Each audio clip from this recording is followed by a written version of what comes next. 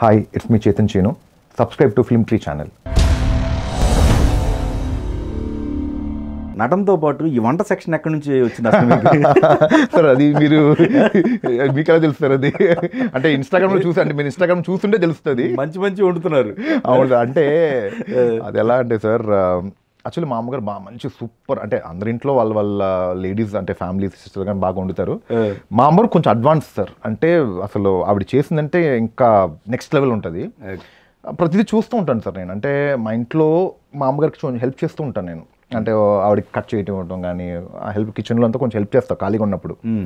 చూస్తా ఆ బిర్యానీ ఎలా చేస్తుంది చేపల పులుసు ఎలా పెడుతుంది ఈ రొయ్యల కూర ఎలా చేస్తుంది అన్నీ చూస్తా. ఒక్కొక్కసారి అడుగుతా నేను ఇక్కడ హైదరాబాద్లో ఒంటరిగా ఉంటాను కదా సార్ అసిస్టెంట్ నేను ఉన్నప్పుడు అమ్మ నాకు ఏదో బిర్యానీ తినాలని ఎలా చేస్తావు అంటే చెప్తుంది అనమాట అండి. చెప్తే నేను ప్రాక్టీస్ చేశాను. అది మా ఫ్రెండ్స్ అందరికి తీసుకెళ్ళి ఇచ్చేవాడిని కూడా ఇక్కడ ఉన్న వాళ్ళు కొంతమందికి. ఆ.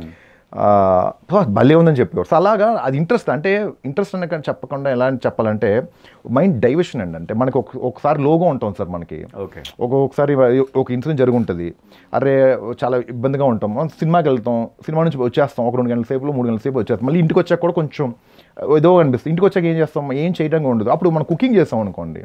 మైండ్ రీఫ్రెష్ అవుతుంది. అది చేసి మనం తిన్నాం అనుకోండి ఇంకా రీఫ్రెష్ అవుతుంది. ఆ కాన్సెప్ట్ సార్ సింపుల్. అక్కడి నుంచి వచ్చిన ఇంట్రెస్ట్ సార్ అది. అంటే కుకింగ్ అన్నది ఏంటంటే చాలా బాగుంటుంది సార్. నేను ఒకరోజు మిమ్మల్ని పిలుస్తాను. ఇది చెప్పండి. అంటే నేను మంచి మటన్ బిర్యానీ వండుతా చికెన్ బిర్యానీ అలాగా. మీ తిన్నోళ్ళు చెప్పారు నాకు. అవునా? సో ఏం లేదు సార్. సుశాంత్ అని చెప్పి నా క్లోజ్ ఫ్రెండ్ అంటే నాకు హైదరాబాద్లో నాకు అకామిడేషన్ ఇచ్చిన అతను. అంటే ఇది ఈ సందర్భంలో నేను ఈ- పేరు కూడా చెప్పాలి. సందీప్ కిషన్. చోటా గారు మేనల్లుడు. సందీప్ కిషన్. నేను హైదరాబాద్కి Sundeep actually Chennai sir basically Chennai. అక్కడ కోడంబాక్లో ఉంటే నేను టీ నగర్లో ఉండేవాడిని. అక్కడ నాకు ఫ్రెండ్ మంచి ఫ్రెండ్ ఓకే బాగా గైడ్ చేసేవాడు. సో నేను హైదరాబాద్కి వచ్చినప్పుడు సందీపే నాకు రూమ్ ఇచ్చాడు సార్ యూసఫ్ గూడలో. అరే నువ్వు రారా? అప్పటికి స్నేహితుడు రిలీజ్ స్నేహితు రిలీజ్ అవ్వాల. ఆడియో లాంచ్ జరుగుతుంది. నువ్వు నాతో ఉండి ఎందుకు నువ్వు బయట ఉంటావు అని చెప్పి నిజంగా చెప్తున్నాను కదా సార్. చాలా మంచి హ్యూమన్ బీయింగ్ గుడ్ హార్టెడ్ వచ్చి నా తన రూమ్లో నాకు ఒక బెడ్ వేసి తన పక్కన పడుకుని అలా అలా ఉన్న రోజులు సార్ సందీప్ నేను అంతా. దాని తర్వాత చాలా హెల్ప్ చేశారు. ఒక రోజు నేను తను జిమ్కి వెళ్ళాం కలిసాం. అక్కడ బ్యాక్ లాక్ అయితే నన్ను హాస్పిటల్ తీసుకెళ్ళాడు. సో తీసుకెళ్ళి ట్రీట్మెంట్ అంతా చేయించాడు. అలాగా ఇది ఆల్వేస్ సపోర్ట్ మీ నా ఫస్ట్ ఫిల్మ్ ఏదైతే అంజలితో చేశానో ఆడియో లాంచ్కి వచ్చాడు. దాని తర్వాత హీ బికేమ్ బిజీ అండ్ తను కూడా చాలా బిజీగా ప్రొడక్షన్ అని రెస్టారెంట్స్ అని పెట్టాడు. తన వే తన వేలో తను బిజీగా వెళ్తూ ఉన్నాడండి. సో అలాగా సుశాంత్ దాని తర్వాత సందీప్ కొన్ని రోజుల తర్వాత అటు ఇటు తమిళ సినిమాలు చేస్తుంటే ఇక్కడ ఉండేవాడు కాదండి. అప్పుడు సుశాంత్ అని చెప్పి మనకు డియర్ మేఘా సినిమా డైరెక్టర్ అతను రూమ్లో ఉండి ఉండండి సుశాంత్ కూడా ఒక ఒక బ్రదర్ లాగే నాకు. తను కూడా తన రూమ్లో నాకు ఒక రూమ్ ఇచ్చి సో అలాగే అక్కడ అక్కడ కూడా నేను వంటలో ఉండి ఉండండి ఎంత బాయ్ కూడా ఆఫీస్ బాయ్ ఉన్నా కూడా నేను అక్కడ మా బ్రదర్కి అంతా చేసి పెట్టి ఉన్నా అక్కడ ఉంది అందరూ వచ్చేవారండి. పెద్ద పెద్ద పెద్ద హీరోలు వచ్చేవారు. అంటే నాని గారు దాని తర్వాత మనోజ్ అలా ఒక పెద్ద లిస్ట్ ఉండేది సందేశ్ గారు. అందరూ వచ్చారు సుశాంత్ దగ్గర అంతా వచ్చేవారు.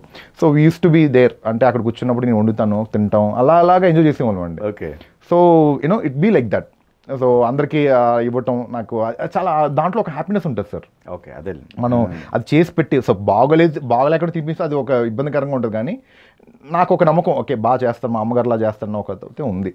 కానీ సర్కిల్ ఒకటి మెయింటైన్ చేయొచ్చు కదా ఇప్పుడు యంగ్ హీరోస్ ఎవరైతే ఉన్నారో. అవును సార్ అవును సార్ అప్పటికే మీరు రూమ్మేట్స్గా ఉన్న సందీప్ కృష్ణ ఉన్నారు కదా. వీళ్ళందరితో అంటే ఒక అడ్వైస్ కావచ్చు కరెక్ట్ సార్ కూడా చాలా డ్రాబ్యాక్ సార్ అది. అది ఏంటంటే డ్రాబ్యాక్ అని చాలా రిజర్వ్డ్గా ఉంటాను సార్ నేను. అంటే అని నేను అలా పెరిగాను సార్ నేను. అంటే ఇప్పుడు చెన్నైలో కానివ్వండి ఇక్కడ కానివ్వండి చెన్నైలో అయితే ఇంట్లోనే ఉంటా. మా సిస్టర్ వాళ్ళతో ఏదంటే బయటికి వెళ్తే మా ఫ్యామిలీతో బయటకు వెళ్తాను టెంపుల్స్ అని ఆ, అన్నిటికి తిరుగుతూ ఉంటాం. పుణ్యక్షేత్రాలని తిరుగుతూ ఉంటాం.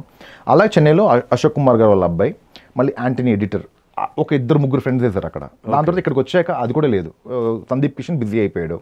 సుశాంత్ అన్న డైరెక్టర్ అయ్యి వాళ్ళు బిజీ అయ్యారు. దాని తర్వాత ఏమైపోయిందంటే సార్ రవి అని ఉన్నారు. ఇప్పుడు మన రవి పనాస పిఆర్గా ఉండేవారు. ఇప్పుడు రవి పనాస ఇప్పుడు చాలా బిజినెస్ చాలా చేశారు. ఆయన పిఆర్గా ఉన్నప్పుడు ఆయన నాకు చాలా సపోర్ట్ చేశారు యాక్చువల్లీ రవి గారు. సో ఆయన కూడా ఒక బ్రదర్ లాగా. సో అలాగా ఉన్నారు. ఏమైపోయిందంటే సార్ వాళ్ళ వల్ల ఆ రంగంలో బిజీ అయిపోయారు అందరూ ఒక్కొక్కళ్ళు. బిజీ అయ్యేటప్పటికి ఇంకోటి ఏంటంటే సార్ నేను పార్టీస్కి వెళ్ళాను. నేను పార్టీస్కి వెళ్తే కోర్స్ మనం స్మోక్ చేయాలి అంటే అది చెయ్యొచ్చు చేయదు ఆప్షనల్ సార్. బట్ వెళ్తే ఒక ఒక కిక్ రావాలన్నప్పుడు ఉంటుంది నాకేమో ఈ పడవు. సో ఏంటంటే వెళ్తాను కూర్చుంటాను ఏదో లోన్లీగా ఉంటుంది నాకు. రెండు మూడు సార్లు వెళ్ళాను సార్. ఆ. ఏం చేసి అవన్నీ మనకు సెట్ అవ్వని చెప్పేసి ఇంటికి వచ్చి కూర్చుంటాను సినిమా పెట్టుకుంటాను చూస్తాను. అలా సెట్ అయిపోయింది. ఒక రిజర్వ్డ్గా ఉండి అలవాటు అయిపోయింది సార్. ఓకే. ఒక సర్కిల్ ఫామ్ చేసుకోలేకపోయా. Okay okay.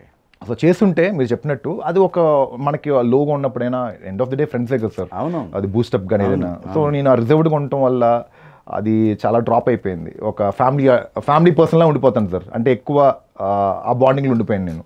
బయటికి రాలా. ఓకే అది రావాలి ఇప్పుడు నుంచి వచ్చేస్తాను నేను. ఎదగాలంటే టాలెంట్ మాత్రమే కాదు చాలా ఉంటాయి. అవును సార్. అన్నదానికి ఆ, అవునండి ఖచ్చితంగా అండి. అక్కడ చెన్నై దగ్గర నుంచి. ఇక్కడ మీకు ఏది ఇంకో ప్రాజెక్ట్? అవును సార్ అవును సార్ అవును. ఇది బక్యం వేణు గారు అవునండి, దాకా అన్ని చూసుకుంటే అవును సార్. రకరకాలి అన్ని. అదే అదే చెప్తాను కదా సార్ నేను ఈ రోజు గుణపాఠాలే. గుణపాఠాలు ఆబ్వియస్లీ సార్. అంటే లెసన్స్ అంటే. మనం అంటే ఇది మేబీ చెప్తున్నాం కదా సార్ ఇంకొకళ్ళు అయితే ఎప్పుడో వెళ్ళిపోయేవారు సార్. ఎందుకంటే మీరు బిర్యానీతో సరిపెట్టారు అంతే అంటే ఇంకొకళ్ళు అయితే అదే. అరే ఒక పక్కన మనము ఫ్యామిలీ అంటే ఫ్యామిలీ నేను ఒక్కడనే అబ్బాయిని. మనకి వాళ్ళకే ఉంటుంది కదా సార్. అంటే పెళ్ళి చేసుకోకుండా ఎన్ని రోజులు వస్తాను అక్కడికి వస్తాను మళ్ళీ. అంటే ప్రతిసారి వాడు నేను టైం పెడుతున్నాను. రే ఉగాదికి ఈ ఉగాది వరకు టైం పెట్టుకో మా అమ్మ చెప్తుంది. ఉగాది పచ్చడి పచ్చడి చేతిలో పెట్టి చెప్పి దేవుని దండం పెట్టుకొని చెప్పి అప్పుడు చెప్తుంది మాట. రే నెక్స్ట్ ఉగాది వరకు టైం పెట్టుకుని ఆ ఉగాదిలోగా ఫినిష్ చేసేసుకోరా? అంటే ఫినిష్ చేసుకుంటే నువ్వు అనుకుని అచీవ్ చేసుకో ఉంటుంది.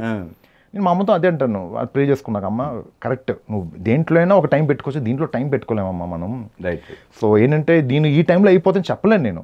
బట్ తనకి తనేమంటదంటే నువ్వు స్ట్రగుల్ నేను చూడలేకపోతున్నావు నువ్వు ఇలాగా. నువ్వు ఎంత నువ్వు డబ్బులు సంపాదించుకున్నా కూడా ఏం చేసుకున్నా కూడా but end of the day నువ్వు ఒక క్వశ్చన్ మార్క్ గానే ఉన్నావు కదా. అంటే అది ఎవరికి చెప్పలేమమ్మా. ఇప్పుడు ఇప్పుడున్న జనరేషన్ అయితే ఇంకా చాలా కాంపిటీషన్ ఎక్కువైపోయింది. సాయి కొరపాటి గారు మీరు తర్వాత మన సూర్యకిరణ్. గారు. సూర్యకిరణ్ గారు అవునండి. మలయాళం ప్రాజెక్ట్ మీరు అనుకున్నారు. మరి మలయాళం రైట్స్ని ముందే తీసుకోవాలి అన్న ఆలోచన కలగలేదా అదే మీకు? సార్ యాక్చువల్లీ అది ఏమైపోయిందంటే సార్ ఆ ఫిలిము ఇప్పుడు ప్రెసెంట్ ఫిల్మ్ కాదు.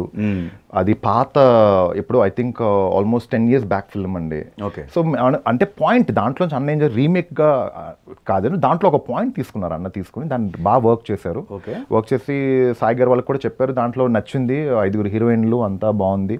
అంతా పాజిటివ్ అనుకున్నాం. బట్ ఏమైపోయిందంటే సార్ కానీ ఎక్కడో అన్నకి దానికి రీమేక్ దీనికి టచ్ ఉంది. అంటే దాంట్లో ఒక ఇన్ఫ్లుయెన్స్ అండి. అన్న చెప్పాడు మేడం నువ్వు కూడా చూడు దానికి ఆ క్యారెక్టర్ చూడు అని చెప్పారు చూసామంతా అయింది. మ్మ్.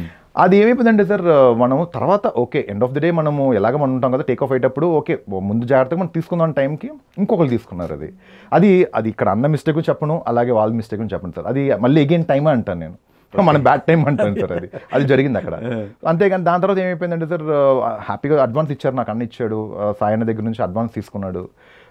హ్యాపీగా చాలా సెలబ్రేట్ చేసుకున్నాము చాలా హ్యాపీనెస్ ఎందుకంటే అన్నకి సత్యం సినిమా తర్వాత ఒక మళ్ళీ కంబ్యాక్ ఫిల్మ్ అవుతుంది అన్న నమ్మకంతో మేము అందరం వర్క్ చేసాం సార్ దానికి. ఓకే ఓకే బట్ ఏమైపోయిందంటే సార్ అది ఇంకా అది డ్రాప్ బాంబే అంతా వెళ్ళాడు సార్. అన్న బాంబే వెళ్ళాడు వెళ్ళి బాంబేకి వెళ్ళి మొత్తం హీరోయిన్ సెలక్షన్స్ ఆడిషన్స్ చేశాడు.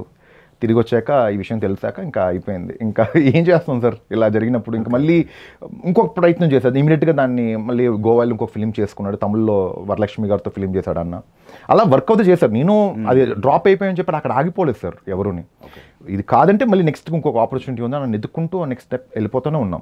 ఆ కథను కొంచెం మార్చుకోవచ్చు కదా? అంటే అదే అది కన్ఫర్మ్డ్గా అవును సార్ ఆ- ఆ పాయింట్ ఉండాలనేనా మీ అవును అది- అది main crucial point sir interval దగ్గర క్రూషియల్ పాయింట్ ఉంటుంది. అది ఉన్నదన్నప్పుడు ఏమవుతుందంటే సార్ అది తీసుకుంటే మంచిదన్న ఉంది సార్.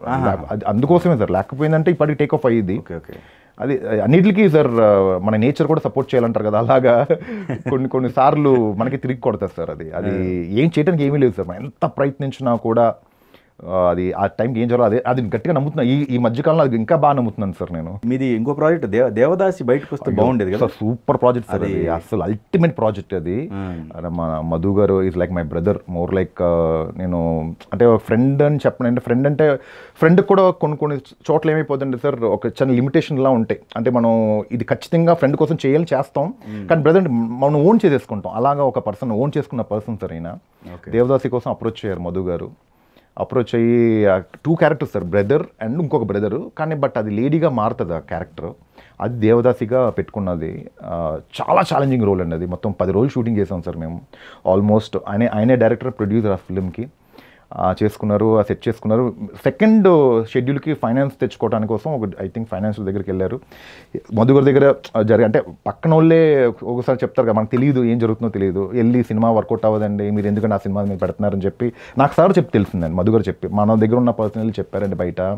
అతను ఎందుకు ఇస్తాడండి డబ్బులు అని చెప్పి ఆ సినిమా అలా ఆగిపోయిందని చెప్పేటప్పటికి ఆయన చాలా డిప్రెషన్కి వెళ్ళిపోయారండి ఆ టైంలో ఓకే.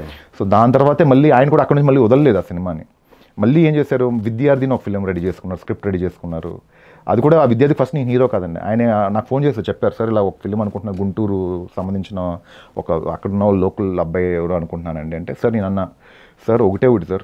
మీరు ఫిల్మ్ ఇండస్ట్రీలో ఉన్నాం నేను ఫిల్మ్ ఇండస్ట్రీలో ఉన్నాం. మీరు ట్రై చేస్తాను నేను ట్రై చేస్తున్నాను. మీ వేలు మీరు ట్రై చేయండి నా వేలు నేను ట్రై చేస్తాను. నేను యాక్టర్గా సెటిల్ అయిపోయాను అనుకోండి డైరెక్టర్గా మిమ్మల్ని నేను పెట్టుకోవడానికి రేపు ఎవరికైనా చెప్పొచ్చు నేను. నా బ్రదర్ ఉన్నారు అని చెప్పొచ్చు. సపోజ్ నేను మేబీ నాకు లేట్ అయింది. మీరు హిట్ కొట్టారు అనుకోండి మీరు నన్ను లేపొచ్చు. మీరు చెప్పొచ్చు నా బ్రదర్ ఉన్నాడు వీళ్ళ చేతిలో ఉన్నాడు చెప్పొచ్చు. సో మీరు మీరు ట్రై చేయండి నేను ట్రై చేస్తామని చెప్తే అలా వెళ్ళింది సార్. బట్ చివరికి వచ్చేటప్పటికి ఏమైపోయిందంటే అది కూడా అక్కడ ఆయనకి ఆ హీ మరి ఏంటో తెలియదు అక్కడ అయితే ఆ హీరో లేరని చెప్పి నాకు ఒక రోజు రాత్రి ఒక ఒంటి గంటన్నరకు ఫోన్ చేశారు సార్ గుంటూరు నుంచి.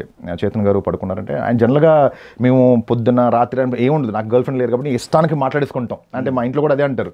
నువ్వు రాత్రి రాత్రి ఏం మాట్లాడుతున్నావు ఏంటి? నువ్వు ఏమైనా లవ్ చేస్తున్నావు అంటే లేదమ్మా చూడమ్మా అని చెప్తా. సో మా లేచి అడుగుతుంది. నేను ఎందుకంటే చెన్నై వెళ్తే మా ఇంట్లో ఒకే రూమ్లో పడుకుంటాను సార్ నేను.